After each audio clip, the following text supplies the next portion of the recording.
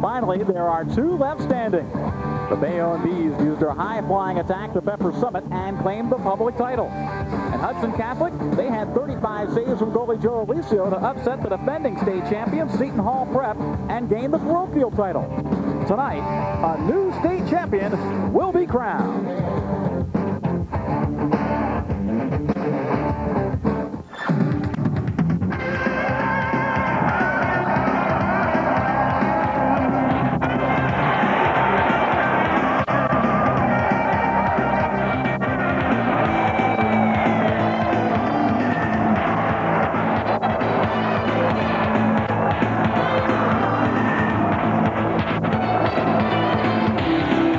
From Continental Airlines Arena in East Rutherford, New Jersey, CN8 Sports presents the New Jersey Devils NJSIAA State Ice Hockey Championship. Tonight, it's the overall championship game as the public champ, the Bayonne Bees, take on the parochial champion in the Hawks from Hudson Catholic. Hello again, everybody. I'm Mick Mollinghoff once again, joined by Pete Caggiano as we are set to find out who has the number one ice hockey team in the state here tonight. Now, Pete, this is the 25th year of this tournament, and yet for tonight, these two teams are playing for their first ever overall championship. Absolutely, Mick. In fact, we will crown a new champion tonight because both Seton Hall and Brick were eliminated in earlier rounds.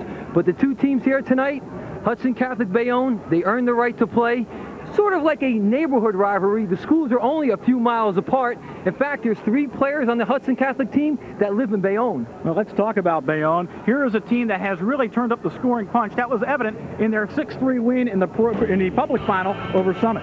Well, they're playing very well. They're cruising right now in the playoffs. In their five playoff games so far, they've outscored their opponents by a margin of 27 to 8. And they're led by Dave Botson. He is the unstoppable force. Two goals and three assists in that 6-3 win over Summit. Botson's playing very, very well. As you mentioned, two goals and three assists the other night, 10 points in his last two games, and he does such a great job going to the net. And as we mentioned, he knows how to celebrate. Well, no doubt about that. But tonight, Bayonne takes on a very talented Hudson Catholic team. All they did to get here to this overall championship game was knock off the parochial champ, the defending champ, and also the defending overall champ in Seton Hall Prep. Wow, they played a great game the other night. Hard fought, two to one victory. They capitalized on their chances, and they played great defense. And no doubt about it. But the key is the guy in goal, and that's the immovable object, Joe Alicio, 35 saves in that win against the Prep. Joe was tremendous in that game. Stopped 35 of 36 shots, and he does it all. In fact, in the three playoff games, he's only allowed three goals. That's just one goal per game.